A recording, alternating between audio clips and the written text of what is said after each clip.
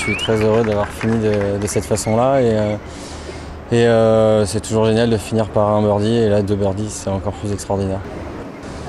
Bah, je suis très heureux de jouer ce week-end, je suis plutôt bien placé, on va voir ce que les parties de cet après-midi donnent, mais euh, dans tous les cas je suis dans le bon wagon et je vais essayer de continuer à prendre du plaisir.